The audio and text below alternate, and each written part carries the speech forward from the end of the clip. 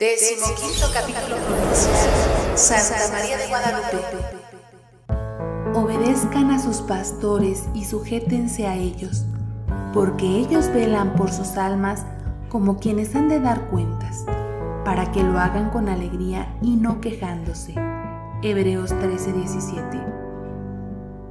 El Señor ha estado grande con nosotros y estamos alegres. Hoy se concluye el décimo quinto capítulo provincial con la Eucaristía solemne.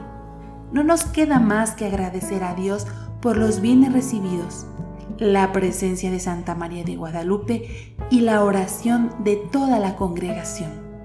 Gracias.